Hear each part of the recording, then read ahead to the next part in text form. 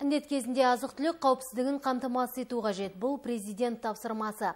Әлеуметтік маңызға ие 32 тауардың қазір 24-і өңірде өндіріледі. Облыс шаруалары ет және ет өнімдерін сүт пен ұнды сұранысқа сай дайындап беруге қауқарлы. Ал өзгесі еліміздің әр өңірінен жеткізіледі. Ол үшін арнайы тұрақтандыру қоры жасақталды.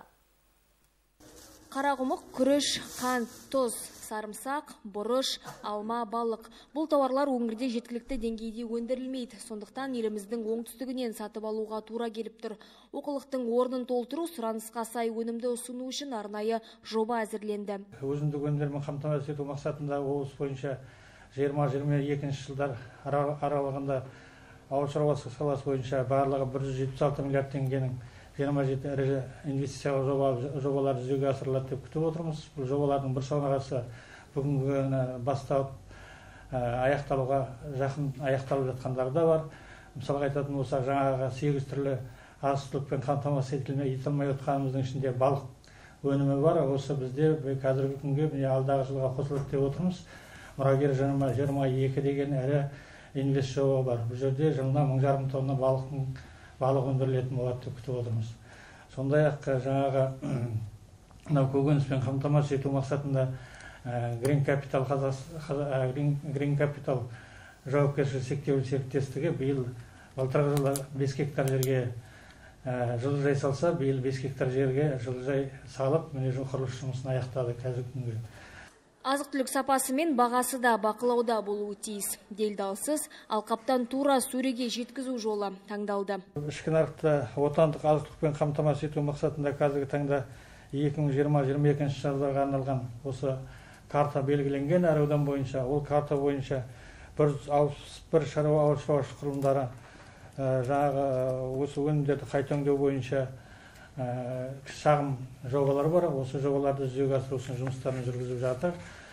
Жалпы облыс бойынша осы өңірлік тұрақтандыру қорына барлығы алты жүз жиырма тоғыз миллион теңге бөлінген. Оның ішінде 2018 жылы 309 миллион теңге бөлінді. 19 жылы 80 миллион теңге 2020 жылы 240 миллион теңге бөлінді.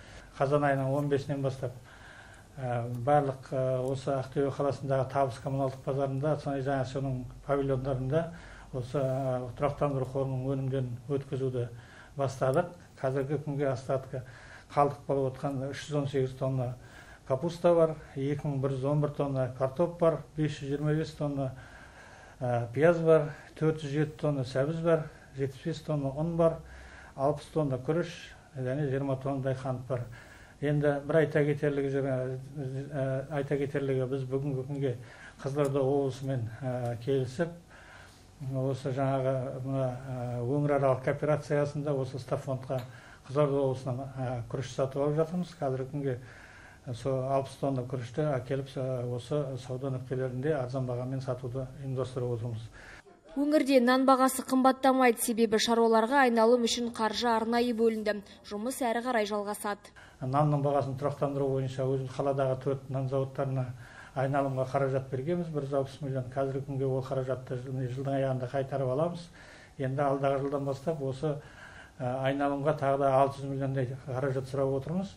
Оның мәселесі шешілуде. Егер осы алты жүз миллион қаражатты алсақ біз осы енді нан зауыттарына емес ұнның бағасын арзандату үшін жаңағы ұн өңдеу комбинатына ұн шығаратын комбинаттарға диірмендерге бергіміз келеді. Сонда олар нан зауыттарына біздің бекітілген тұрақты бағамен арзан бағамен ұнды жеткізіп беріп отырады. Сол арқылы біз нанның бағасын тағы да бір жылға дейін осындай бір тұрақты түрде ұстап тұрамыз деген ойымыз бар.